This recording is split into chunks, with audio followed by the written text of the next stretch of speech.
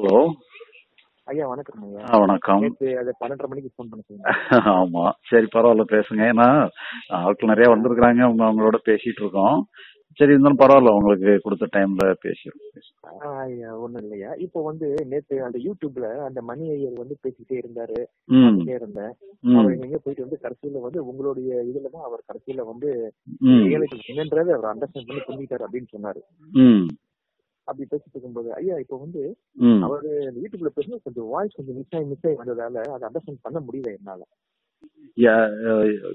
எது மிஸ் ஆகி வருது அவருடைய வார்த்தையா? அவருடைய வார்த்தை கொஞ்சம் அந்த அது சிஸ்டம் வந்து டெக்னிக்கல் ப்ராப்ளம் ஏதோ மிஸ் ஆகி மிஸ் ஆகி தான் வருது. சரி சரி சரி அதனாலதான் நான் உங்களுக்கு நினைச்சேன். இப்போ வந்து இப்போ சில பேரு அந்த காலத்துல பாத்தீங்கன்னாக்கா நீ யாருன்றது தெரிஞ்சுக்கோ. நீ யார் அப்படின்றது அவங்க சொல்றாங்க. இப்போ இப்ப நான் யார் நான் யார் அப்படின்றது. ஆனா. உங்களுடைய இது வந்ததுக்கு அப்புறம் உங்களுடைய. இது நான் உள்ள வந்ததுக்கு அப்புறம் அப்புறம் மற்ற அகத்துல எல்லா விஷயங்கள் எல்லா உணர்ச்சிகள் எப்படி பிரவாகமா வெளியே போதோ அதே நானுன்றது ஒரு ஆஸ்பெக்ட் கூட அதே கூட வெளியே ஒரு அனுபவமா வந்து வெளியே செதறி வந்து போயிடுது. ஸோ அகத்துல பொறுத்த வரைக்கும் ஒண்ணுமே இல்லை. அப்போ அந்த நான் அப்படின்றது இது என்ன இது வந்து எப்படி இது? இது நான் எப்படி புரிஞ்சுக்கணும்? இல்ல நான்கிறது ஒரு தாட்டு தானே?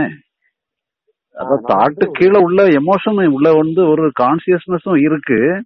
கான்சியஸ்னஸ் பிளஸ் மெமரி சேர்ந்தது தான் நமக்கு ஒரு தாட்டாவும் இருக்கு. அந்த அது ஒரு வகையான தாட் நான்கிறதும் ஒரு வகையான தாட்டா தான் வெளிப்படுது. எல்லா பாத்தீங்கன்னா ஒரு தாட்டுங்கிறதுமே கான்சியஸ்னஸ் பிளஸ் மெமரி சேர்ந்ததுதான் தாட்டு அப்படி ஒரு தாட்ல நான்கிறதும் ஒரு தாட்டு தான். அதுவும் ஒரு கான்சியஸ்னஸ் பிளஸ் மெமரி மெமரி அங்க இல்லைன்னு சொன்னா நான்கிறதும் இல்ல.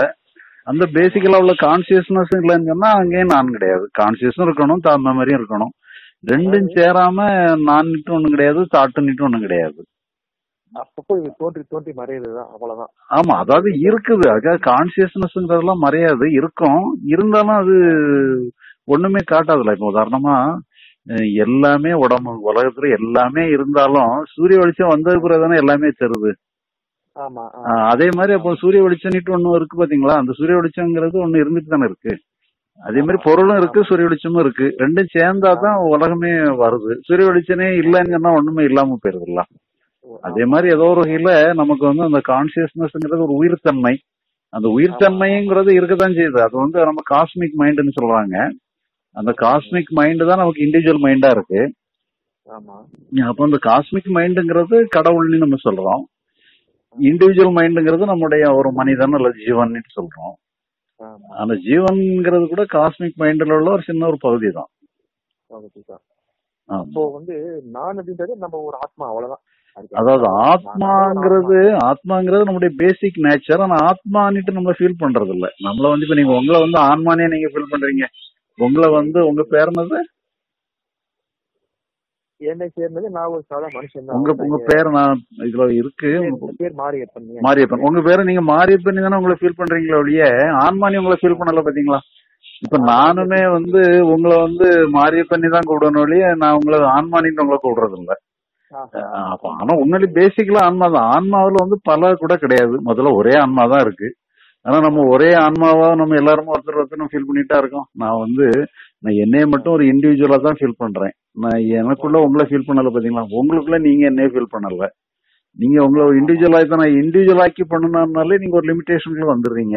அந்த லிமிடேஷன் படுத்துறதெல்லாம் நம்முடைய மெமரி தான் நம்மளை லிமிட் பண்ணுது. உண்மையிலே வந்து ஒண்ணு வந்து பிரிவுபடாத ஒண்ணுதான் பேசிக்கலா இருக்குனாலும் கூட அதை நம்ம தனிச்சு நம்ம ஃபீல் பண்ணல. ஃபீல் பண்ண வேண்டிய அவசியமும் இல்லை அதுக்கு எல்லாம் ஒன்னா இருக்கும்போது தன்னை ஃபீல் பண்ண வேண்டிய அவசியம் இல்லை. நமக்கு அது இப்ப உடம்பு இருக்கு உதாரணமா நம்ம உடம்பு முழுசுமே உணர்வோட தான் இருக்குது.